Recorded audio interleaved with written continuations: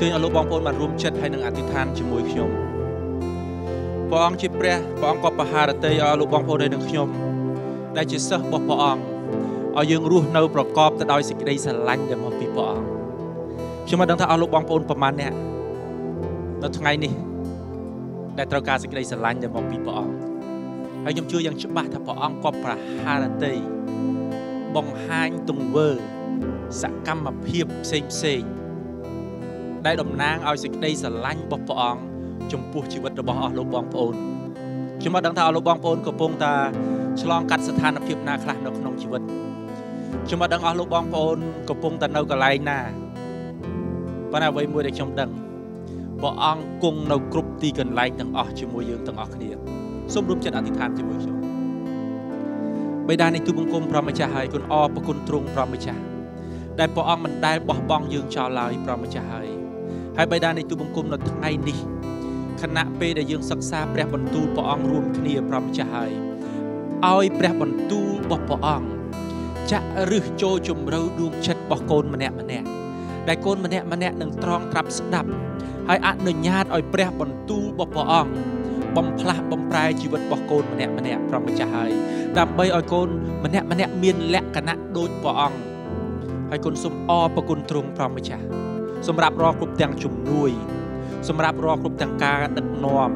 សម្រាប់រាល់គ្រប់ទាំងការការពារដែលមកពីព្រះអង្គដោយក្នុងព្រះនាមព្រះម្ចាស់ព្រះយេស៊ូវគ្រីស្ទអេមែនអេមែនហាឡេលូយ៉ាសូមប្រាប់ទៅកាន់អ្នកចិត្តខាងរបស់អស់លោកបងប្អូនទាំងអស់គ្នាដែលកំពុងតែអង្គុយនៅជាមួយនឹងអស់លោកបងប្អូនប្រាប់គាត់ថាសូមព្រះអង្គប្រទានពរនៅព្រឹកនេះហាឡេលូយ៉ានៅថ្ងៃនេះយើងនៅតែបន្តសិក្សាជាមួយគ្នា អំពីអឺក្រឹតវិន័យរបស់ព្រះជាម្ចាស់ប៉ុន្តែអ្វីមួយដែល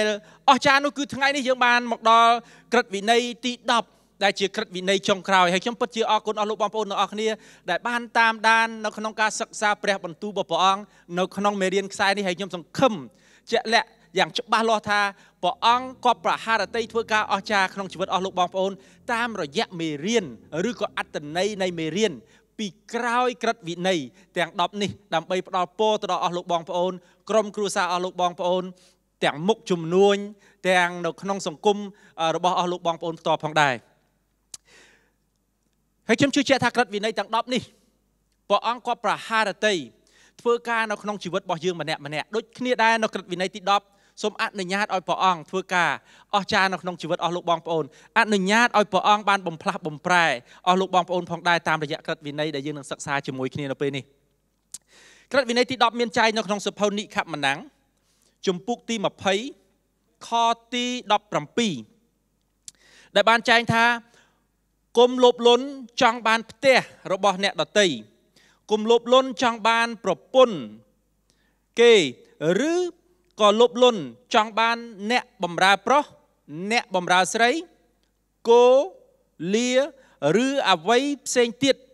ដែលជារបស់គេឡើយនៅក្នុងអត្ថបទកពីនេះក៏បានចែងនៅក្នុងសភៅទុតិយកថាចំពុកទី5ខទី21ក៏បានចែងដូចគ្នាពីព្រោះសភៅទុតិយកថាជាសភៅមួយដែលលោកម៉ូសេបានរំលឹកអំពីក្រឹតវិន័យរបស់ព្រះជាម្ចាស់ជាលើកទី2 ហើយនៅក្នុងអត្ថបទនៅក្នុងសភៅទុតិយកថានេះបានបន្ថែមពាក្យមួយឃ្លាទៀតដែលខ្ញុំចង់បង្ហើបជូនទៅដល់លោកបងប្អូនអរគ្នាដែរអត្ថបទនេះគម្ពីរបានចែងថាគុំលោភលន់ចង់បានប្រពន្ធគេគុំប៉ងប្រាថ្នាអត្ថបទពីនេះបានប្រាប់ពាក្យមួយថាប៉ងប្រាថ្នាចង់បានផ្ទះរបស់អ្នកដតីឬចង់បានស្រែចម្ការអ្នកបំរើប្រុសអ្នកបំរើស្រីគោលាឬរបស់អ្វីផ្សេងទៀតរបស់គេឡើយ ខ្ញុំសូមបញ្ជាក់ទៅកាន់អស់លោកបងប្អូនទាំងអស់គ្នាថាចេះនៅក្នុងសម័យនៅក្នុងព្រះគម្ពីរនៅក្នុងអត្ថបទគម្ពីរនេះបានចែងថាចេះថាអ្វីខ្លះដែលព្រះអង្គមិនគប់ប្រហារតីឲ្យគេមានចិត្តលោភលន់ឬក៏ចិត្តប៉ងប្រាថ្នាចង់បាន ទី1ប្រពន្ធគេទី2អ្នកបំរើប៉ុន្តែខ្ញុំសូមបញ្ជាក់បន្តិចកន្លែងដាក់ប្រពន្ធគេនេះក៏មានន័យថាប្តីគេដែរ មិនមានន័យថាអត់លួចប្រពន្ធគេបានលួចប្តីគេបានទេអត្ថបទកពីនេះបញ្ចាំងចង់ចែងថាគុំឲ្យលួចប្រពន្ធឬក៏ប្តីរបស់អ្នកដតីបន្ទាប់មកទៀតព្រះគម្ពីរបានចែងថាក៏កុំឲ្យលួចអ្នកបំរើប្រុសអ្នកបំរើស្រីបើយើងសិក្សាព្រះគម្ពីរបានច្បាស់អ្នកបំរើប្រុសស្រីនៅសម័យនោះគឺជាមនុស្ស ដែលពេលខ្លះគេទិញយកមកឬក៏មនុស្សដែលបានកើតឡើងនៅក្នុងក្រុមគ្រួសាររបស់អ្នកបំរើផ្ទាល់ដែលគាត់មានការបដិញ្ញាចិត្តដើម្បីបំរើម្ចាស់របស់គាត់មកដល់ភាសាពេលបច្ចុប្បន្នក៏យើងអាចនិយាយថាគុំលួចបុគ្គលិករបស់គេដែលស្ថិតនៅក្នុងកងត្រារបស់គេផងដែរជាមនុស្សដែលបានបដិញ្ញាចិត្តនៅក្នុងការធ្វើការឲ្យទៅបុគ្គលម្នាក់ទៀតព្រះកពីក៏បានចែងថាស្រែចំការ បើយើងសិក្សាអំពីពាក្យថាស្រែចំការនៅក្នុងព្រះគម្ពីរនៅក្នុងសម័យនោះអ្នកដែលធ្វើស្រែចំការគឺតំណាងឲ្យមនុស្សដែលគាត់រកប្រភពចំណូលឬក៏ប្រភពចំណូលរបស់គាត់ចេញពីស្រែចំការដូច្នេះស្រែស្រែចំការនេះក៏តំណាងឲ្យជាមុខរបររបស់គាត់មិនថាមុខរបរប្រភេទណាក៏ដោយមិនថាជំនួញប្រភេទណាក៏ដោយនឹងគឺជាស្រែចំការរបស់គាត់បន្ទាប់មកព្រះកពីបានចែងប្រាប់ថា កុំឲ្យយើងប្រាថ្នាចង់បានឬក៏លុបលន់ចង់បានគោរបស់គេបែរជាអស់លោកបងប្អូនមួយចំនួននិយាយថាខ្ញុំនៅពេញល្អហើយព្រោះខ្ញុំអត់ដែរឃើញគោផងអញ្ចឹងខ្ញុំអត់មានបំណងចិត្តចង់លួចគោពីអ្នកណាទេប៉ុន្តែខ្ញុំចង់បញ្ជាក់អស់លោកបងប្អូនបន្តិចសម័យនៅក្នុងព្រះគម្ពីរឬក៏ទោះបីជាសម័យកាលបច្ចុប្បន្ននៅតំបន់មួយចំនួនក៏ដោយគោគឺជាសត្វមួយដែលគេប្រើប្រាស់នៅក្នុងការភ្ជួររាស់ ឬដើម្បីធ្វើស្រែចម្ការរបស់ពួកគេដូច្នេះយើងអាចបកប្រែកន្លែងនេះឲ្យនិយមន័យកន្លែងនេះគោតំណាងឲ្យឧបករណ៍ឬក៏សម្ភារៈឬក៏បច្ចេកវិទ្យាបច្ចេកទេសផ្សេងផ្សេងសម្រាប់ធ្វើការបម្រើនៅក្នុងក្រុមហ៊ុន ឬក៏ស្ថិតនៅក្នុងមុខជំនួញឬក៏មុខរបររបស់ពួកគេ នឹងគឺជាឧបករណ៍ដែលគេប្រើប្រាស់បែរជាអស់លោកបងប្អូនមួយចំនួនមានមុខរបរជា IT ជាអ្នកបច្ចេកវិទ្យាគោលរបស់អស់លោកបងប្អូនគឺកុំព្យូទ័រអេមែនប៉ុន្តែអស់លោកបងប្អូនអាចកាប់សាច់គោរបស់អស់លោកបងប្អូនយកបរិភោគបានទេណាអានេះគ្រាន់តែខ្ញុំនិយាយលេងទេបន្ទាប់មកទៀតនៅក្នុងព្រះគម្ពីរក៏បានចែងថាកុំឲ្យយើងមានបំណងលួបលួចឬក៏លុបលន់ចង់បានសត្វលារបស់អ្នកដតីស្អីគេជាលា នៅក្នុងពេលបច្ចុប្បន្ននេះសម័យដើមមនុស្សធ្វើដំណើរដោយប្រើសត្វលាសត្វលាគឺជាសត្វដែលគេជិះពីលើដើម្បីធ្វើដំណើរពីកន្លែងមួយទៅកន្លែងមួយឬក៏ជាយានជំនិះឬក៏យាន ដែលគេប្រើប្រាស់សម្រាប់ដឹក ជាសត្វដែលគេប្រើប្រាស់សម្រាប់ដឹកអីវ៉ាន់ផ្ទេពីកន្លែងមួយ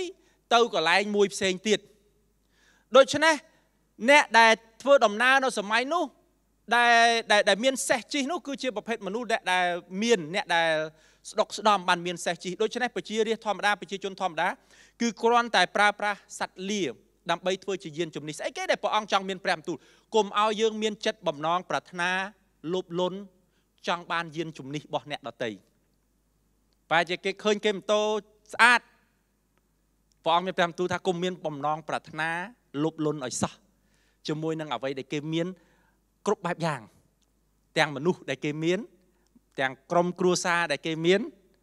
ទាំងមុខរបរដែលគេមាន ទាំងឧបករណ៍ដែលគេប្រើប្រាស់ធនធានដែលគេប្រើប្រាស់នៅក្នុងចំនួនរបស់ពួកគេឬមួយក៏យានជំនិះរបស់គេក្នុងព្រះគម្ពីរបានចែងថាអវ័យអវ័យផ្សេងទៀតដែលគេមានផងដែរក្រឹតវិន័យទី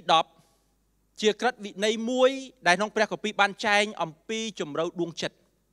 បើយើងសិក្សាអំពីក្រឹតវិន័យទី6ដែលបានចែងថាគុំសម្រាប់មនុស្សក្រឹតវិន័យទី7គុំប្រព្រឹត្តអំពើផិតក្បត់ក្រឹតវិន័យទី8គុំលួចប្លន់គេក្រឹតវិន័យទី9គុំធ្វើជាសាក់សីคล้ายคล้ายដែលនាំឲ្យអ្នកដតីមានទោសបញ្ជាក់សុទ្ធសឹងតែពីទង្វើឬក៏សកម្មភាពដែលស្ដែងចេញដោយឡែកក្រឹតវិន័យទី10នេះ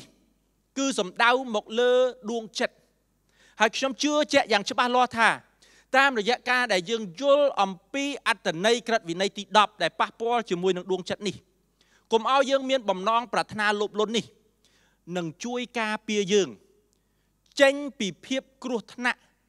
ដែលអាចនាំទៅកាន់ទង្វើផ្សេងផ្សេងដែលមានចែងនៅក្នុងក្រឹតវិន័យទី6ទី7ទី8ហើយនិងទី9ដូច្នេះអត្ថបទកពីនេះបានចែងច្បាស់ថាកុំឲ្យយើងមានចិត្តលោភលន់ចង់បាន របស់របស់គេស្អីគេជាចិត្តលោភលន់ខ្ញុំចង់ឲ្យលោកបងប្អូនមើលនិយមន័យភាសាខ្មែរបន្តិចពីព្រោះចិត្តលោភលន់នេះគឺគឺមានអត្តន័យជ្រៅជាង ពាក្យថាខ្ញុំចង់បាន ពាក្យថាលោភលន់មកពីពាក្យថាលោភដែលមានន័យថាសេចក្តីជំពាក់ចិត្តសេចក្តីប្រាថ្នាបំណងចង់បាន ប្រឹងរកទ្រព្យដោយលោភកំចាត់លោភ ឬគេអាចប្រើពាក្យមួយទៀតថាលោភចិត្តឬក៏លោភចេតនាមានន័យថាលោភចិត្តមានន័យថាចិត្តហ្នឹងគឺមានបំណងប្រាថ្នាសេចក្តីមួយគឺចង់បានខ្លាំងតែម្ដងចេតនាលោភចេតនាគឺមានន័យថាមានបំណងចិត្តមួយដោយចេតនាដោយរៀបចំគម្រោងទុកជាមុនដើម្បីយករបស់នឹងយកមកឲ្យបាន នៅក្នុងភាសាហេប្រឺនៅពេលដែលព្រះគម្ពីរបានចែងថាកុំឲ្យមានចិត្តលោភលន់ដែលយើងសិក្សាជាមួយគ្នានៅថ្ងៃនេះ ពីអត្តន័យដែលមាននៅក្នុងព្រះគម្ពីរអត្តន័យដែលមាននៅក្នុងព្រះគម្ពីរបានចែងថាចិត្តលោភលន់គឺជាបំណងប្រាថ្នាមួយដែលចង់បានរបស់អ្វីមួយ រហូតឈានទៅដល់ការស្វែងរកយុទ្ធវិធីឬក៏វិធីសាស្ត្រដើម្បីយករបស់មួយ ដែលជាកម្មសិទ្ធិរបស់អ្នកដតីមកធ្វើជាកម្មសិទ្ធិរបស់ខ្លួននេះគឺជាអត្តន័យឬក៏និយមន័យនៃពាក្យថាលោភលន់ នៅក្នុងព្រះគម្ពីរដូច្នេះខ្ញុំដល់ថ្ងៃនេះយើងនឹងសិក្សាជាមួយគ្នា អំពីលក្ខណៈនៃចិត្តលោភលន់នេះចិត្តលោភលន់នេះផងដែរខ្ញុំចង់បញ្ជាក់ទៅកាន់អស់លោកបងប្អូនតិចកុំឲ្យមានការយល់ច្រឡំពីព្រោះជួនកាលយើងអាចមានការភ័ន្តច្រឡំរវាង ពាក្យថាលោភលន់ហើយពាក្យថាចង់បាន ពាក្យលោភលន់គឺមានន័យថាខ្ញុំមានបំណងប្រាថ្នាមិនស្កប់ស្កល់ចិត្តដើម្បីយកអ្វី ដែលបោះអ្នកដតីមានខ្ញុំចង់បានពីគេ ដើម្បីជួយខ្ញុំខ្លួនឯងឲ្យបានស្ដុកស្ដំដើម្បីឲ្យបានរុងរឿងដើម្បីឲ្យមាននៅអ្វីដែលខ្ញុំចង់បាន វាខុសពីពាក្យថាដែលគ្រាន់តែពាក្យដែលយើងនិយាយថាយើងកលេចមើលទៅកាន់របស់អ្នកដតីយើងមានបំណងប្រាថ្នាចង់បានពាក្យនឹងអត់ខុសទេសូមអស់លោកបងប្អូនកុំឲ្យយល់ច្រឡំកុំឲ្យកុំឲ្យយល់ច្រឡំថាខ្ញុំឃើញគេជិះឡានល្អខ្ញុំក៏ចង់បានឡានចាក់ឡានល្អនឹងជិះគេដែរ អាហ្នឹងមិនមែនចិត្តលោភលន់ទេអាហ្នឹងគ្រាន់មានន័យថាយើងក៏ចង់បានហើយមនុស្សម្នាក់ម្នាក់យើងយើងតែងតែចង់បានប្រសិនបើយើងនៅលីវហើយយើងឃើញមានគ្រួសារគេមានគ្រួសារគេមានប្រពន្ធមានកូនគេមានសុភមង្គលក្នុងក្រុមគ្រួសារគេបដើគ្នា ហើយយើងថាខ្ញុំចង់មានគ្រួសារដូចគេដែរអានេះមិនមែនមានន័យថាយើងមានបំណងលុបលុនឬមានបំណងប្រាថ្នាចង់លួចប្រពន្ធគេទេកុំឲ្យតែយើងទៅលួចប្រពន្ធគេអាហ្នឹងបានយើងហៅថា លួចប្រពន្ធគេបើយើងឃើញគេជិះឡានល្អយើងមានកម្រងថាខ្ញុំរកវិធីធ្វើម៉េចកាច់សោដើម្បីចូលក្នុងឡានហ្នឹងឲ្យបានឬក៏កាច់សោម៉ូតូមួយណាអាហ្នឹងបានយើងហៅថាលបលន់រហូតឈានទៅដល់បំណងប្រាថ្នាចង់លួចដូច្នេះការដែលយើងគ្រាន់តែឃើញអ្វីមួយឬឃើញនរណាម្នាក់ឬក៏ឃើញទ្រព្យសម្បត្តិរបស់នរណាម្នាក់ឃើញគេមានផ្ទះស្អាតហើយយើងគ្រាន់និយាយថាយើងមានបំណងចិត្តមួយខ្លួនឯងយើងថាខ្ញុំចង់មានដូចគេ បំណងចិត្តនេះអត់ខុសឆ្គងពីព្រោះព្រះជាម្ចាស់ព្រះអង្គបានដាក់ឲ្យយើងម្នាក់ម្នាក់មានបំណងចិត្តព្រះអង្គដាក់ឲ្យយើងម្នាក់ម្នាក់តែងតែមានបំណងប្រាថ្នាមួយចង់បានអ្វីដែលប្រសើរឡើងជាងមុនប៉ុន្តែខ្ញុំអត់និយាយបំណងប្រាថ្នាធម្មតាទេនៅថ្ងៃនេះខ្ញុំនិយាយអំពីបំណងប្រាថ្នាលោភលន់អត្ថបទកពីបានចែងអំពីអឺបំណងចិត្តលោភលន់នេះមួយចំនួនហើយនឹងផលប៉ះពាល់ នៃបំណងចិត្តលោភលន់មួយចំនួនដែរខ្ញុំសូមអានជូនអស់លោកបងប្អូនទាំងអស់គ្នានៅក្នុងសភៅលូកាជំពូកទី12ខទី15បន្ទាប់មកព្រះអង្គមានព្រះបន្ទូលទៅបណ្ដាជនថាចូលប្រយ័ត្នគុំលោភលន់ចង់បានទ្រព្យសម្បត្តិឲ្យសោះទោះបីមនុស្សមានសម្បត្តិបរិបូរយ៉ាងណាក៏ដោយក៏ជីវិតគេមិនអាស្រ័យនៅលើទ្រព្យសម្បត្តិឡើយ ក្នុងព្រះគម្ពីរបានបរៀនយើងថាជីវិតរបស់យើងមិនអាស្រ័យទៅលើទ្រព្យសម្បត្តិរបស់យើងនោះទេខ្ញុំអត់សំដៅទៅលើជីវភាពអត្ថបទកពីនេះអត់បានសំដៅទៅលើជីវភាពនៃការរស់នៅដែលត្រូវការទ្រព្យសម្បត្តិប៉ុន្តែអត្ថបទកពីនេះបានចែងការប្រៀបធៀបរវាងជីវិតមានតម្លៃលើសទ្រព្យសម្បត្តិ1កូរិនថូសជំពូកទី5ខទី11ខ្ញុំសរសេរមកបងប្អូន ដើម្បីកុំឲ្យបងប្អូនតាក់ទងនឹងអស់អ្នកដែលមានឈ្មោះថាគ្រឹះបរិស័ទតែបែរប្រព្រឹត្តកម្មគុណថោកទាបមានចិត្តលោភលន់ចង់បានទ្រពគេថ្វាយបង្គំព្រះខ្លែងខ្លាយជេរប្រមាថគេ ប្រមឹកឬប្លន់យកទ្រពគេ មួយវិញទៀតសូមកំបរិភពរួមជាមួយជនប្រភេទនេះឡើយក្នុងអត្ថបទកពីបានបញ្ជាក់ប្រាប់ថាមនុស្សដែលមានចិត្តលោភលន់ នឹងមានផលប៉ះពាល់ទៅដល់ទំនាក់ទំនងរបស់គាត់ព្រះគម្ពីរលើកទឹកចិត្តគុំចំណាយពេលជាមួយនឹងមនុស្សប្រភេទនេះគុំនៅក្បែរជាមួយនឹងមនុស្សប្រភេទនេះហើយខ្ញុំជឿជាក់ថាអ្នកដតីផ្សេងទៀតក៏អត់ចូលចិត្តនៅក្បែរមនុស្សដែលមានចិត្តលោភលន់ចង់បានទ្រព្យសម្បត្តិគេនោះដែរនៅក្នុងសភៅអេផេសូជំពូកទី5ខទី3ដោយបងប្អូនជាប្រជាជនដ៏វិសុទ្ធ មិនត្រូវឲ្យមានលឺនិយាយអំពីការប្រះចាកសិលធម៌អបាយមុខគ្រប់យ៉ាង ឬការលោភលន់ក្នុងចំណោមបងប្អូនសោះឡើយព្រះអង្គគប់ប្រហារតីឲ្យអ្នកបម្រើព្រះអង្គឲ្យគ្រឹះបរិស័ទដែលក្នុងព្រះគម្ពីរបានចែងថាជាប្រជាជនដ៏វិសុទ្ធជាមនុស្សដែលព្រះអង្គបានប្រោះលោះដោយព្រះលោហិតរបស់ព្រះអង្គ ព្រះអង្គគាត់ប្រហាតីឲ្យអស់លោកបងប្អូនហើយនៅខ្ញុំរស់នៅក្នុងជីវិតមួយ ដែលមានក្រមសីលធម៌ល្អកូឡូសជំពូកទី3ខទី5ដូច្នេះសូមបងប្អូន សម្រាប់អ្វីអ្វីខាងលោកីចោលទៅ គឺអំពើប្រះចាកសិលធម៌អំពើសៅមង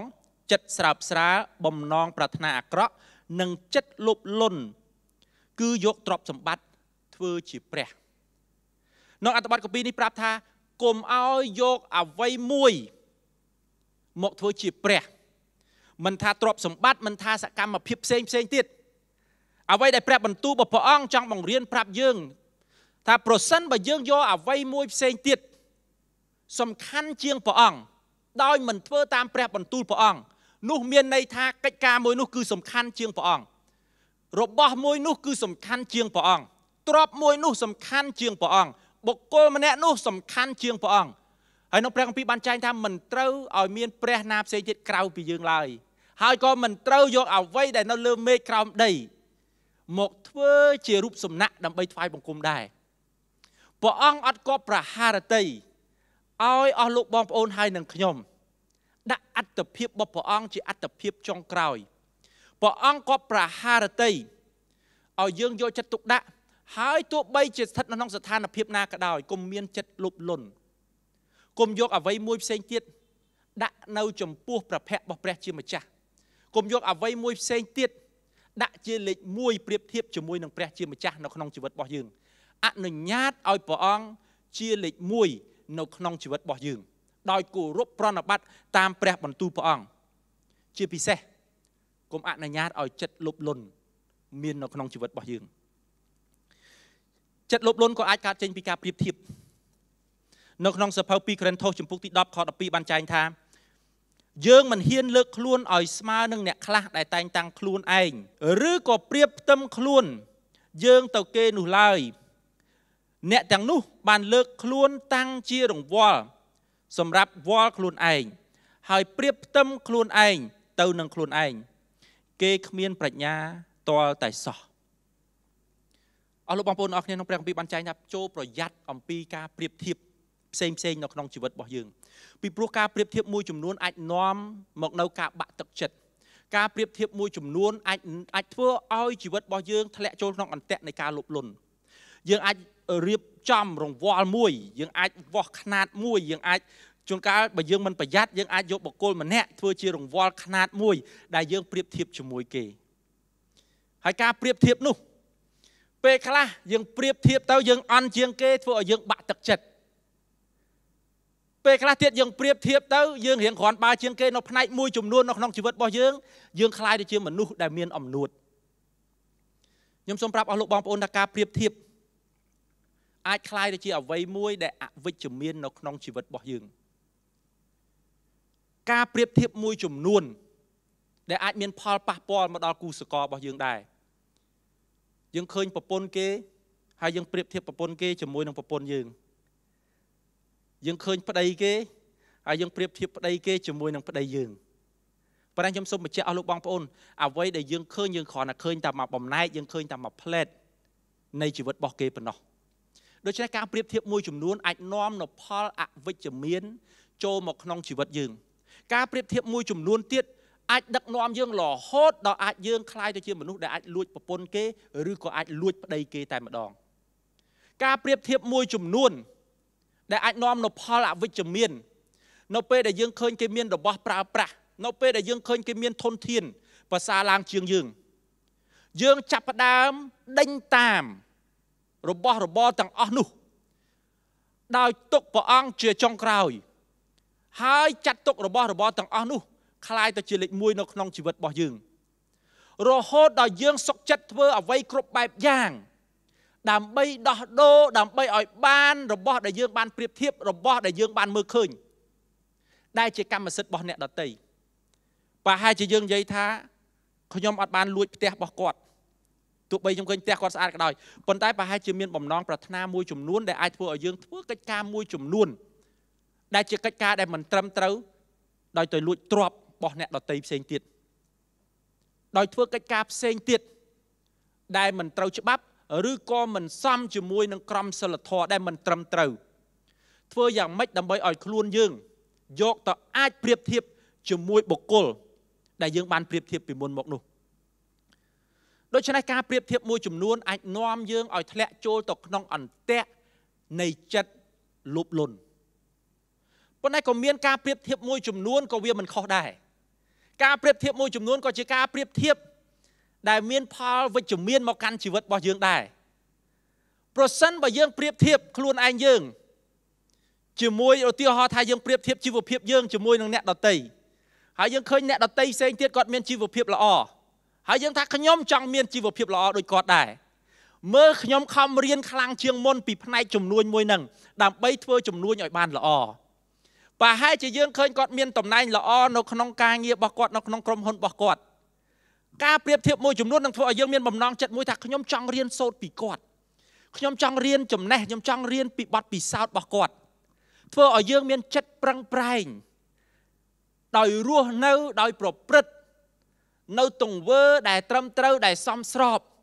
ដើម្បីឲ្យយើងបានចម្រើនឡើង ពាក្យចាស់មួយរបស់ របស់របស់ខ្មែរយើងដែលប្រើប្រាស់ភាកច្រើនចាស់ចាស់គាត់ច្រើនតែប្រើប្រាស់ឬមួយក៏អ្នកធំដែលគាត់បានប្រើប្រាស់ទៅកាន់អ្នកដែលមានវ័យក្មេងជាងអ្នកដែលចាស់គាត់ប្រើប្រាស់ទៅកាន់សមាជិកក្រុមគ្រួសាររបស់គាត់គាត់ច្រើនប្រើពាក្យមួយគាត់ថាឲ្យរៀនបើកភ្នែកមើលគេមើលឯងផងពាក្យនេះជាពាក្យដាស់តឿនមិនមែនជាពាក្យស្ដីបន្ទោសទេ ពាក្យនេះចង់មានន័យថា ចូលសម្លឹងមើលអ្នកដតីហើយរៀនសូត្រពីគេ នេះមិនមែនជាអត្តន័យនៃការប្រៀបធៀបបែបអវិជ្ជមានប៉ុន្តែជាការប្រៀបធៀបបែបវិជ្ជមានហើយការប្រៀបធៀបបែបវិជ្ជមាននេះនឹងជួយយើងឲ្យខំប្រឹងប្រែងជាងមុន ដើម្បីឲ្យបានប្រសើរឡើងនៅក្នុងជីវិតរបស់យើង តាមផ្នែកផ្សេងផ្សេងពីគ្នា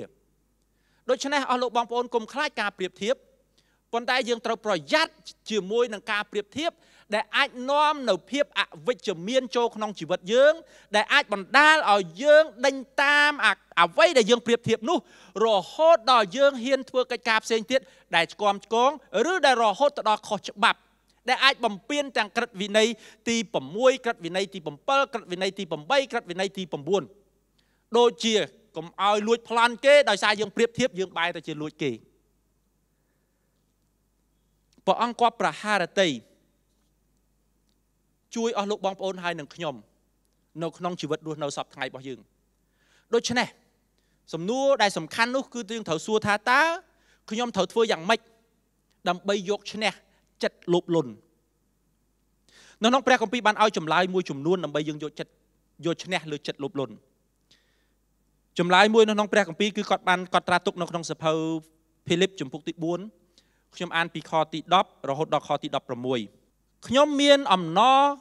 ក្នុងព្រះអង្គម្ចាស់យ៉ាងខ្លាំងដោយដឹងថាបងប្អូនបាននឹកគិតដល់ខ្ញុំជាថ្មីឡើងវិញ កាលពីមុន បងប្អូនក៏បាននឹកគិតដល់ខ្ញុំដែរតែបងប្អូនគ្មានឱកាសនឹងសម្ដែងទឹកចិត្តរបស់បងប្អូនចំពោះខ្ញុំខ្ញុំនិយាយដូច្នេះមិនមែនមកពីខ្ញុំខ្វះខាតទេត្បិតខ្ញុំបានរៀនចេះស្កប់ចិត្តចម្លើយទី1ដែលជួយលោកប៉ូលកុំឲ្យគាត់មានចិត្តលោភលន់ គាត់ចេះស្កប់ចិត្តគាត់និយាយថាត្បិតខ្ញុំរៀនឲ្យចេះស្កប់ចិត្តក្នុងគ្រប់កលៈទេសៈទោះបីទាល់ក្រក្តី មានបរិបូរក្តីក៏ខ្ញុំចេះរស់ដែរខ្ញុំបានអប់រំចិត្តក្នុងគ្រប់កលៈទេសៈនិងគ្រប់ទីកន្លែង គឺថាទោះបីបរិភពឆ្អែតក្តីអត់ឃ្លានក្តី មានបរិបូរក្តី ឬខ្វះខាតក្តី ក៏ខ្ញុំចេះស្កប់ចិត្តជានិច្ចប្រហែលជារដូវកាលនេះជារដូវកាលមួយដែលព្រះជាម្ចាស់គាត់ប្រហារតីបង្រៀនអស់លោកបងប្អូនហើយនឹងខ្ញុំឲ្យយើងចេះស្កប់ចិត្តនឹងអ្វីដែលយើងមានប្រហែលជារដូវកាល COVID-19 នេះអាចคล้ายជាឱកាសដែលព្រះជាម្ចាស់ព្រះអង្គនឹងធ្វើការអស្ចារ្យនៅក្នុងជីវិតរបស់យើងដោយបង្រៀនយើងឲ្យយើងចេះស្កប់ចិត្តជាមួយនឹងអ្វីដែលយើងបរិភោគតែទោះបីជាយើង គ្រាន់តែបរិភោគត្រីខឬត្រីងៀតឬពងទាឬក៏ផ្អកឬក៏ប្រហុកដែលយើងបាត់បង់របបអាហារឆ្ងាញ់ឆ្ងាញ់ដូចយើងធ្លាប់មានពីមុនពេលដែលយើងទៅហូបនៅខាងក្រៅប៉ុន្តែប្រហែលជាព្រះអង្គចង់ធ្វើការអ្វីមួយយ៉ាងនៅក្នុងជីវិតរបស់យើងម្នាក់ម្នាក់ឲ្យយើងចេះស៊ូទ្រាំនៅក្នុងគ្រប់កលៈទេសៈនិងនៅគ្រប់ទីកន្លែងបើយើងបន្តអាននៅក្នុងអត្តវត្តកពីនេះ លោកប៉ូលគាត់និយាយអំពីការធ្វើដំណើរពីទីក្រុងមួយទៅទីក្រុងមួយ បន្តផ្សព្វផ្សាយដំណឹងល្អអរលោកបងប្អូនដឹងទេព្រះអង្គបានធ្វើការអស្ចារ្យនៅក្នុងជីវិតរបស់លោកប៉ូលតាមរយៈការដែលគាត់ទុកចិត្តព្រះអង្គនៅក្នុងគ្រប់កលៈទេសៈហើយគាត់រៀនចេះស្កប់ចិត្តនៅក្នុងគ្រប់កលៈទេសៈនិងគ្រប់ទីកន្លែងដោយសារការដែលគាត់រៀនស្ដាប់បង្គាប់ព្រះអង្គហើយបង្រៀនខ្លួនឯងបង្រៀនចិត្តខ្លួនឯង ឲ្យចេះស្កប់ចិត្តដោយមិនអនុញ្ញាតឲ្យភាពលោភលន់ចូលក្នុងជីវិតរបស់គាត់គាត់คล้ายទៅជាមនុស្សដែលនាំដំណឹងល្អចេញពីមួយកន្លែងទៅមួយកន្លែងផ្សេងទៀតប្រហែលជាអស់លោកបងប្អូនហើយនឹងខ្ញុំព្រះអង្គនឹងប្រើប្រាស់អស់លោកបងប្អូនហើយនឹងខ្ញុំនៅរដូវកាលនេះដើម្បីបង្រៀនមេរៀនអីមួយដែលថ្មីនៅក្នុងជីវិតរបស់យើងដើម្បីឲ្យយើងក្លាយទៅជាមនុស្សដែលនឹងនាំផលផ្លែដែលព្រះអង្គគាត់ប្រហារតីប្រើប្រាស់នៅក្នុងជីវិតរបស់យើង ចេញពីកន្លែងមួយទៅកន្លែងមួយផ្សេងទៀតផងដែរនៅក្នុងសភៅហេព្រើរជំពូកទី13ខទី5គុំបណ្ដោយខ្លួនឲ្យឆ្លក់នឹងការស្រឡាញ់ប្រាក់ឡើយគឺត្រូវស្កប់ចិត្តនឹងទ្រព្យសម្បត្តិដែលបងប្អូនមាននៅពេលនេះត្បិតព្រះជាម្ចាស់មានព្រះបន្ទូលថាយើងនឹងមិនទុកអ្នកចោលឡើយក៏មិនបោះបង់អ្នកចោលដែរហេតុនេះហើយបានជាយើងហ៊ាននិយាយដោយចិត្តរឹងប៉ឹងថាព្រះអង្គម្ចាស់នឹងជួយខ្ញុំខ្ញុំ មិនខ្លាចអ្វីឡើយលោកប៉ូលមានបទពិសោធន៍ម្ដងទៀតនៅពេលដែលគាត់រៀនស្កប់ចិត្តជាមួយនឹងព្រះអង្គគាត់ចាប់ផ្ដើមឃើញការអស្ចារ្យដែលព្រះជាម្ចាស់បានធ្វើនៅក្នុងជីវិតរបស់គាត់ព្រះអង្គជាព្រះដែលផ្គត់ផ្គង់គាត់ព្រះអង្គជាព្រះដែលបានជួយគាត់ប្រហែលជាពេលខ្លះយើងអាចក៏លេចមើលទៅកាន់អ្វីដែលអ្នកដតីមានសូមចាំ ព្រះអង្គគាត់ប្រហារតីផ្ដល់ពរអស់លោកបងប្អូននៅអ្វីអ្វីទាំងអស់នោះផងដែរក្នុងព្រះគម្ពីរព្រះអង្គមិនដែលហាមឃាត់ឬក៏ព្រះអង្គមិនដែលមានព្រះបន្ទូលថាព្រះអង្គមិនចង់ឲ្យយើងមានមិនចង់ឲ្យយើងបានមិនចង់ឲ្យយើងបានបរិបូរណ៍នោះទេប៉ុន្តែព្រះបន្ទូលរបស់ព្រះអង្គព្រានយើងឲ្យចេះស្កប់ចិត្តដើម្បីឲ្យយើងអាចរស់ក្នុងជីវិតដែលសុចរិតដើម្បីឲ្យយើងអាចរស់ក្នុងជីវិតមួយដែលចេះមានទំនាក់ទំនងល្អជាមួយនឹងអ្នកដែលនៅជុំវិញយើងសូមចាំព្រះអង្គឲ្យក្រឹតវិន័យនេះទៅកាន់ជនជាតិអ៊ីស្រាអែល ប្រយោជន៍ទៅដល់គេមិនមែនប្រយោជន៍ទៅដល់ព្រះអង្គនោះទេ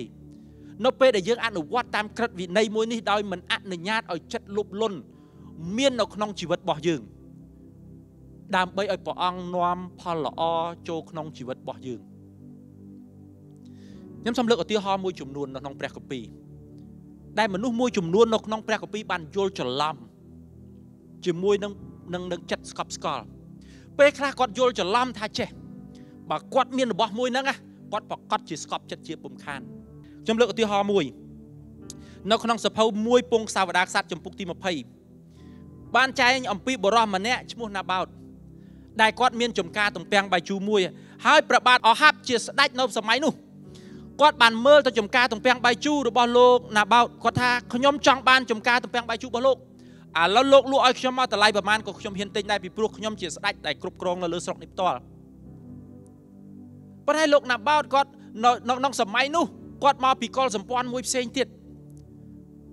ហើយច្បាប់នៅក្នុងសម័យនោះគឺគាត់អត់អាចលក់របស់ទ្រព្យចេញពីកលសម្ព័ន្ធរបស់គាត់ឲ្យទៅមនុស្សដែលនៅក្នុងកលសម្ព័ន្ធមួយផ្សេងទៀតមិនមែនលោកណាបោតគាត់អត់ចង់លក់ឬក៏គាត់មិនគោរពស្ដេចនោះទេឬក៏មិនយកយល់ស្ដេចនោះទេប៉ុន្តែយោងតាមប្រពៃណីហើយយោងតាមច្បាប់នៅសម័យនោះគាត់អត់មានសិទ្ធិដើម្បីលក់ គាត់អន់ចិត្តជាមួយលោកណាបោតគាត់ត្រឡប់ទៅវិញគាត់សម្រាហើយស្ដេចចាប់ផ្ដើមព្រះកន្សែងស្ដេចចាប់ផ្ដើមមោះម៉ៅក្រោយមកទៀតភរិយារបស់ស្ដេចមហេសីបានទៅគាល់ស្ដេចម្ចាស់ស្ត្រីរបស់ស្ដេចមានពនាមថាយេសាបែលដូច្នេះម្ចាស់ស្ត្រីយេសាបែលក៏បានទៅជួបដែលជាមហាសីបានទៅជួប ជាមួយនឹងប្របាទអហាប់ហើយប្របាទអហាប់ក៏បានរៀបរាប់អំពីដំណើរសាច់រឿងទាំងអស់នេះពេលដែលមហេសីរបស់ប្របាទអហាប់គាត់ឃើញស្ដេចដោយទុកសោកដោយអត់បានអ្វីដែលស្ដេចគាត់ប្រហារតីចង់បានដឹងគាត់ធ្វើម៉េចហ៎គាត់រៀបចំមន្ត្រីគាត់រៀបចំបពពួកគាត់រៀបចំសាក់សីคล้ายคล้ายហើយគាត់ក៏ប្តឹង គាត់ចាប់ដើមកាត់ទោសទៅដល់លោកណាបោរហូតទៅដល់ដាក់ទោសលោកណាបោឲ្យបាត់បង់ជីវិតនិយាយមួយម៉ាត់ឲ្យខ្លី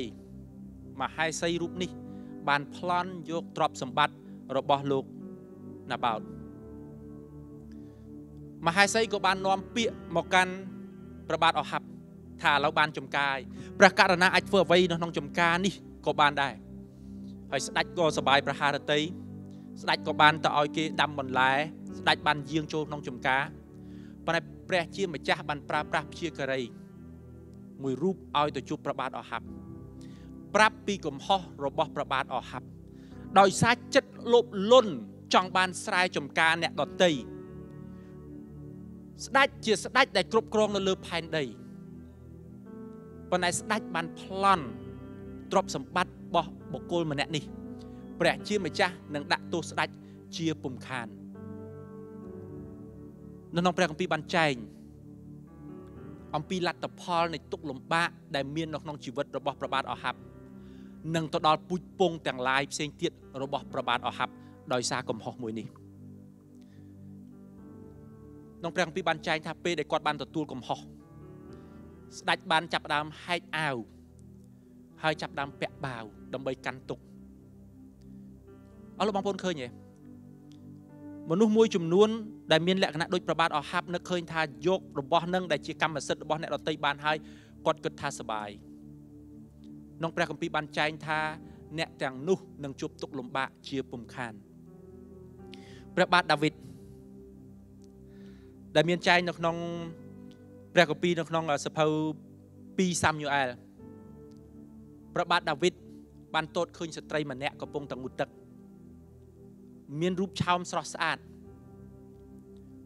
ប៉ុន្តែគាត់ជាប្រពន្ធគេព្រះបាទដាវីតបានរៀបចំអន្ទាក់ដើម្បីឲ្យគាត់ចូលក្នុងសមរភូមិមួយ ដែលសមរភូមិនោះអាចសម្លាប់ប្តីគេបានដើម្បីលួចយកប្រពន្ធគេចុងក្រោយគាត់ធ្វើបានសម្រេចគាត់សម្លាប់ប្តីគេហើយគាត់លួចយកប្រពន្ធគេមកធ្វើជាមហេសីផ្ទាល់ខ្លួនហើយគាត់គិតថាសបាយ ប៉ុន្តែក្នុងព្រះគម្ពីរបានចែងថាព្រះអង្គបានបញ្ជូនព្យាការីមួយរូបទៀតទៅជួបព្រះបាទដាវីតហើយប្រាប់ពីកំហុសរបស់ព្រះបាទដាវីតលទ្ធផលនៃទង្វើនៃការបំពានច្បាប់របស់ព្រះជាម្ចាស់តែងតែមានផលវិបាកត្រឡប់មកវិញក្នុងព្រះគម្ពីរបានចែងថាគ្មានអ្នកណាម្នាក់មើលងាយព្រះជាម្ចាស់បានឡើយត្បិតមនុស្សសាបព្រោះអ្វីនឹងច្រូតបានផលនោះត្រឡប់មកវិញអស់លោកបងប្អូនទាំងអស់គ្នាព្រះអង្គគាត់ប្រហារតីឲ្យអស់លោកបងប្អូនហើយនឹងខ្ញុំជាមនុស្ស ដែលរស់នៅប្រកបទៅដោយប្រពោរបស់ព្រះជាម្ចាស់ព្រះអង្គអត់គាត់ប្រហារតីឲ្យមានទុកលំបាកឬសត្វតនិតកម្មណាមួយកើតឡើងដល់យើងឬក្រុមគ្រួសារយើងដោយសារលទ្ធផលនៃការប្រព្រឹត្តអំពើបាបរបស់យើងនោះឡើយចឹងបានព្រះមានព្រះបន្ទូលថាឲ្យគោរពក្រឹតវិន័យរបស់ព្រះអង្គដើម្បីនាំផលល្អមកដល់ជីវិតរបស់យើងហើយនឹងអស់អ្នកដែលនៅជុំវិញយើងឬអស់អ្នកដែលយើងមានទំនាក់ទំនងជាមួយចម្លើយទី2ទៅកាន់ចិត្តលោភលន់ គឺស្វែងរកសុភមង្គលពីព្រះជាម្ចាស់ហេតុអីបានជាមនុស្សមានចិត្តលោភលន់ពីព្រោះមនុស្សភ័យខ្លាច មនុស្សភ័យខ្លាចដោយសារខ្លាចអត់មានភោគទ្រព្យដើម្បីការពារខ្លួនមនុស្សភ័យខ្លាចពីព្រោះខ្លាចអត់បានសុបាយដូចគេ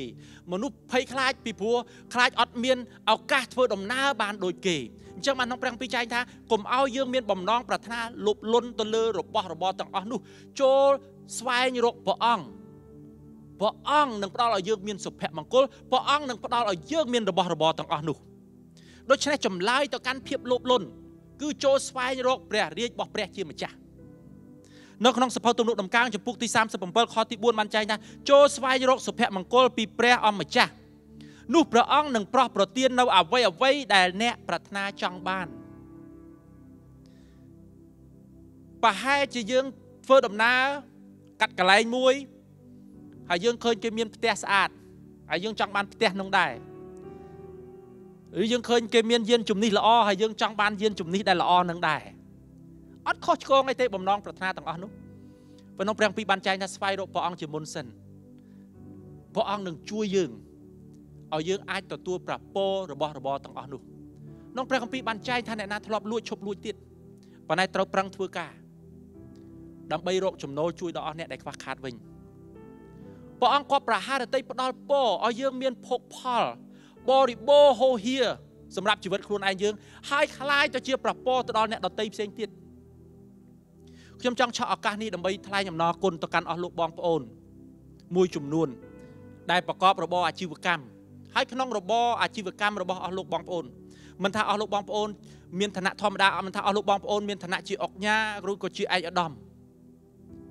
ខ្ញុំសូមថ្លែងអំណរគុណទៅដល់អស់លោកបងប្អូនដែលបានបង្កើតមុខរបរការងារដើម្បីផ្ដល់ពរដល់អ្នកដតីដើម្បីឲ្យអ្នកដតីមានការងារធ្វើដើម្បីឲ្យអ្នកដតីមានប្រាក់ចំណូលចូលក្នុងក្រុមគ្រួសារក្នុងព្រះគម្ពីរបានចែងថាព្រះអង្គក៏ប្រហារដតីជួយមនុស្សឲ្យមនុស្សបានមានសុភមង្គលឲ្យមនុស្សបានមានអ្វីដែលមនុស្សប្រាថ្នាចង់បានយូស៊ូអាចំពុកទី1ខទី5បានចែងថាជារៀងរាល់ថ្ងៃ ក្នុងជីវិតរបស់អ្នកគ្មាននរណាអាចប្រឈមតទល់នឹងអ្នកឡើយយើងស្ថិតនៅជាមួយអ្នកដូចយើងធ្លាប់ស្ថិតនៅជាមួយម៉ូសេដែរយើងនឹងជួយអ្នកជានិច្ចយើងមិនបោះបង់អ្នកចោលឡើយព្រះអង្គក៏ប្រហារតីបញ្ជាក់ម្ដងហើយម្ដងទៀតថាព្រះអង្គគង់នៅជាមួយព្រះអង្គជាព្រះវរបិតាដែលស្រឡាញ់ដែលខ្វល់ខ្វាយដែលចង់មើលថែរក្សាកូនរបស់ព្រះអង្គពេលខ្លះទៀតក្នុងព្រះគម្ពីរបានចែង រូបភាពផ្សេងមួយទៀតថាព្រះអង្គគឺជាអ្នកគង្វាលព្រះអង្គជាអ្នកដែលខ្វៀលព្រះអង្គជាអ្នកដែលមើលថែព្រះអង្គជាអ្នកដែលការពារព្រះអង្គជាអ្នកដែលផ្គត់ផ្គង់នេះគឺជាបំណងប្រហារតីរបស់ព្រះអង្គនៅក្នុងសភៅម៉ាថាយចំពុកទី6ខទី30បានចែងថាចូលស្វែងរកព្រះរាជរបស់ព្រះជាម្ចាស់ចូលស្វែងរកសេចក្តីសុចរិតរបស់ព្រះអង្គជាមុនសិននោះព្រះអង្គនឹងប្រទានរបស់របរទាំងនោះមកអ្នករាល់គ្នាថែមទៀត ដូច្នេះអស់លោកបងប្អូនអាចទុកចិត្តព្រះអង្គបាន ថាព្រះអង្គក៏ប្រហារតីឲ្យអស់លោកបងប្អូនហើយនឹងខ្ញុំ មាននៅអ្វីដែលយើងប្រាថ្នាចង់បាន មាននៅអ្វីដែលយើងត្រូវមាន ដើម្បីធ្វើកិច្ចការដែលព្រះអង្គត្រាស់ហៅយើងឲ្យធ្វើកិច្ចការហើយយើងនឹងមិនខ្វះខាតអ្វីសោះឡើយអេមែនការដែលយើងចេះស្កប់ចិត្តនឹងអ្វីដែលយើងមាននឹងជួយឲ្យយើងស្វែងរកសុភមង្គលពីព្រះជាម្ចាស់ ការដែលយើងស្កប់ចិត្តឬក៏ចេះស្កប់ចិត្តនឹងអ្វីដែលយើងមាននឹងធ្វើឲ្យយើងមិនមានបំណងប្រាថ្នានៃចិត្តលោភលន់នៅពេលដែលយើងចេះស្កប់ចិត្តនៅអ្វីដែលយើងមាន យើងនឹងមិនប្រព្រឹត្តទង្វើផ្សេងផ្សេងទៀតដែលនឹងធ្វើឲ្យអ្នកដតីមានការឈឺចាប់ប៉ុន្តែផ្ទុយទៅវិញ នៅពេលដែលយើងមានការដែលយើងចេះស្កប់ចិត្តនៅក្នុងជីវិតរបស់យើងស្វែងរកសុភមង្គលមកពីព្រះអង្គ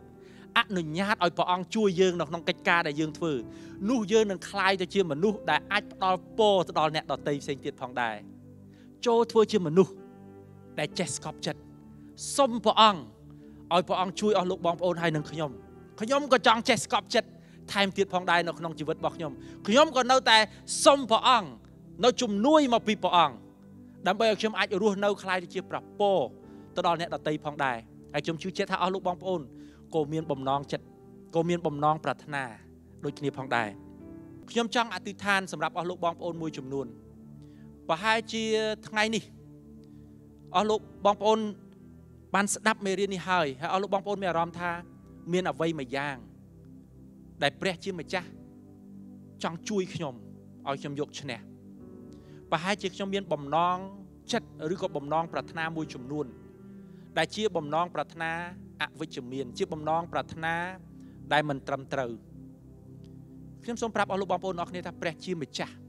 ព្រះអង្គគាត់ប្រហារតីជួយអស់លោកបងប្អូននៅក្នុងផ្នែកនេះព្រះអង្គមានរាល់គ្រប់ទាំងរធានុភាពដើម្បីជួយអស់លោកបងប្អូនអាចយកឈ្នះបានលោកប៉ូលលោកមានប្រសាសន៍ថាខ្ញុំអាចធ្វើកិច្ចការអ្វីបានទាំងអស់ខ្ញុំអាចទ្រាំបានទាំងអស់ដោយព្រះគ្រីស្ទគង់នៅជាមួយខ្ញុំហើយខ្ញុំជឿជាក់ថាព្រះអង្គដែលជាព្រះយេស៊ូវគ្រីស្ទ ព្រះអង្គក៏គង់នៅក្នុងជំរៅដួងចិត្តរបស់អស់លោកបងប្អូនដែរប្រសិនបើលោកបងប្អូនត្រូវការការអធិដ្ឋាន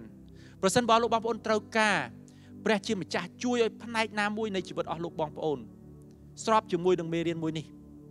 ខ្ញុំសូមអញ្ជើញឲ្យលោកបងប្អូនបានបិទភ្នែកទាំងអស់គ្នាឥឡូវនេះគ្រប់គ្រប់គ្នា ដែលកំពុងទស្សនានៅការចាក់ផ្សាយនៃមេរៀននេះ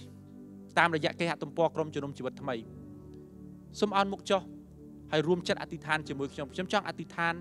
ផ្ដល់ពរទៅដល់អស់លោកបងប្អូនទាំងអស់គ្នាបិតានៃទូបង្គំព្រះម្ចាស់ឲ្យគុណអរប្រគុណទ្រង់ព្រះម្ចាស់គុណសូមយាងនៅប្រវត្តិមានរបស់ព្រះអង្គព្រះអង្គឲ្យសូមតតរំពៃមើលដួងចិត្តរបស់ពួកកូនម្នាក់ម្នាក់ដែលនៅទីនេះព្រះម្ចាស់ហើយព្រះអង្គឲ្យសូមឲ្យដួងចិត្តរបស់កូន ជាដួងចិត្តមួយដែលចេះស្កប់ចិត្តនឹងអ្វីដែលយើងមានក្រុមគ្រួសារដែលយើងមាន មុខរបរដែលយើងមានព្រះម្ចាស់ ព្រះអង្គឲ្យសូមជួយកូនម្នាក់ម្នាក់ឲ្យស្វែងរកសុភមង្គលចេញមកពីព្រះអង្គមិនមែនចេញពីបុគ្គលផ្សេងមិនមែនចេញពីអ្វីៗទាំងអស់ដែលមាននៅក្នុងលោកនេះប៉ុន្តែឲ្យមានសុភមង្គលដែលចេញពីព្រះអង្គវិញ បិតានេះទូបង្គំគុណអរប្រគុណទ្រង់ហើយកូនអធិដ្ឋាន កូនប្រកាសដោយរធានុភាពនៃព្រះនាមរបស់ព្រះអង្គថាកូនជាមនុស្សដែលចេះស្កប់ចិត្តហើយកូនជាមនុស្សដែលចេះស្វែងរកព្រះព្រះរាជរបស់ព្រះអង្គសុភមង្គលដែលមកពីព្រះអង្គសេចក្តីស្រឡាញ់ដែលមកពីព្រះអង្គដាក់នៅក្នុងជីវិតរបស់កូនព្រះម្ចាស់ហើយកូនអធិដ្ឋាននៅក្នុងព្រះនាមព្រះម្ចាស់ព្រះយេស៊ូវគ្រីស្ទអេមែនអេមែនសូមប្រាប់គ្នាទៅវិញទៅមកថាសូមព្រះអង្គប្រទានពរអ្នកនៅថ្ងៃនេះ ហើយខ្ញុំក៏ចង់ជម្រាបជូនអស់លោកបងប្អូនទាំងអស់គ្នាដែរថាមេរៀនខ្សែដែលពាក់ព័ន្ធជាមួយនឹងក្រឹតវិន័យទាំង10របស់ព្រះជាម្ចាស់ហើយដូចខ្ញុំនិយាយម្ដងហើយម្ដងទៀតថាក្រឹតវិន័យនេះព្រះអង្គដាក់មកដើម្បីឲ្យមនុស្សបានបង្កើតសហគមន៍មួយបង្កើតប្រជាជាតិមួយជាប្រជាជាតិដែលរុងរឿងព្រះអង្គក៏គាត់ប្រហារតីឲ្យអស់លោកបងប្អូនហើយនឹងខ្ញុំរៀនមេរៀនទាំងអស់នេះ ចេញពីក្រឹតវិន័យរបស់ព្រះអង្គដើម្បីឲ្យយើងរស់នៅ មានសេចក្តីសុខក្សេមក្សានិងរុងរឿងផងដែរប្រសិនបើអស់លោកបងប្អូនអខាននៅការទស្សនាមេរៀនណាមួយឬក៏សិក្សាពីមេរៀនណាមួយអស់លោកបងប្អូនអាចចូលទៅក្នុង Channel YouTube របស់ក្រុមជំនុំជីវិតថ្មីដែលមានឈ្មោះថា NLF Cambodia អស់លោកបងប្អូនអាចសិក្សាពីក្រឹតវិន័យទី1រហូតទៅដល់ក្រឹតវិន័យទី10ទន្ទឹមគ្នាផងដែរខ្ញុំក៏ចង់រំលឹកទៅដល់អស់លោកបងប្អូនមួយចំនួនប្រសិនបើអស់លោកបងប្អូន អត់ទាន់មានក្រុមកោសិកាណាមួយនៅក្នុងក្រុមជំនុំជីវិតថ្មីហើយយើងដឹងថារយៈកាលនេះគឺយើងជួបជុំគ្នាតាមរយៈអនឡាញឬក៏តាមរយៈក្រុមគ្រួសារដែលមានចំនួនមនុស្សតូចហើយព្យាយាមស្ថិតនៅក្នុងគម្លាតមួយជាគម្លាតសវត្ថភាពផងនោះប្រសិនបើលោកបងប្អូនត្រូវការការជួបជុំគ្នាតាមរយៈអនឡាញក្តីដើម្បីទទួលព្រះបន្ទូលរបស់ព្រះអង្គដើម្បីទទួលការលើកទឹកចិត្តពីគ្នាទៅវិញទៅមកដើម្បីឲ្យយើងអាចអធិដ្ឋានឲ្យគ្នាទៅវិញទៅមកដើម្បីឲ្យយើងអាចដឹងសុខទុក្ខហើយយើងអាចមានឱកាសជួយគ្នាទៅវិញទៅមក សូមតាមដាននៅព័ត៌មានទាំងអស់នេះនៅលើគេហទំព័រក្រុមជំនុំជីវិតថ្មីផងដែរក៏ដូចគ្នាប្រសិនបើលោកបងប្អូនត្រូវការការអធិដ្ឋានផ្សេងផ្សេងមានសំណុំពរអធិដ្ឋានឬក៏មានទីបន្ទាល់ដែលល្អល្អហើយអស់លោកបងប្អូនចង់ចែកចាយចង់ឲ្យអ្នកដតីផ្សេងទៀតបានដឹងហើយបានអបអរសាទរជាមួយអស់លោកបងប្អូនសូមមេត្តាផ្ញើសារមកកាន់ក្រុមជំនុំជីវិតថ្មីតាមរយៈគេហទំព័រក្រុមជំនុំជីវិតថ្មីមួយវិញទៀតចុងក្រោយ ប្រសិនបើលោកបងប្អូនមានសំណួរពាក់ព័ន្ធជាមួយនឹងការថ្វាយដង្វាយអនឡាញថ្វាយដង្វាយតាមរយៈកណនីធនាគារផ្សេងផ្សេងអស់លោកបងប្អូនក៏អាចមើលតាមការណែនាំដែលមានបញ្ចប់នៅក្នុងវីដេអូនៅខាងក្រោយនេះផងដែរសូមអរគុណច្រើនហើយសូមព្រះអង្គប្រទានពរ